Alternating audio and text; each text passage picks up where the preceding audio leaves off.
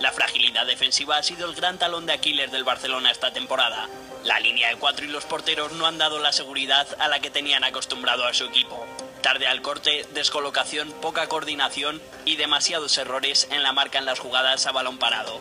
Pero sería injusto culpar solo a los de atrás. El Barcelona era un equipo acostumbrado a presionar muy arriba y a recuperar balones en campo contrario. Si esa presión no se ejerce, llegan los contraataques.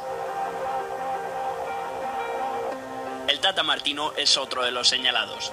Llegó a última hora y no ha sabido hacerse con el equipo. Ha sido incapaz de imponerse en los partidos importantes donde los entrenadores rivales le han ganado la batalla táctica. Cuestionado desde enero, cada vez aparecen más candidatos que optan a su puesto. Leo Messi.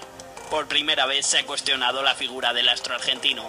Aunque sus cifras siguen estando fuera de lo común, su esfuerzo ha quedado en entredicho y se ha especulado con que se esté reservando para el Mundial. Los asuntos extradeportivos han estado demasiado presentes durante toda la temporada. Empezaban en verano con los problemas de Messi con Hacienda, seguían a mitad de temporada con el caso del fichaje de Neymar, caso que iba a terminar con la dimisión de Sandro Rosell. Por último llegó la sanción de la FIFA por irregularidades en la cantera, sanción que impedía fichar la temporada que viene, aunque finalmente este asunto se ha podido resolver.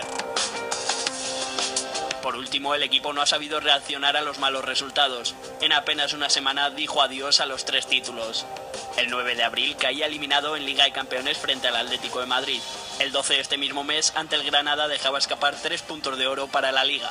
Esa derrota significó dejar de depender de sí mismo en la competición. Por último, la final de Copa del 16 de abril. El Barcelona caía ante el eterno rival y decía adiós a la Copa del Rey. Por todas estas razones, la temporada del Barcelona ha sido para olvidar, una temporada en blanco que exigirá una importante recomposición.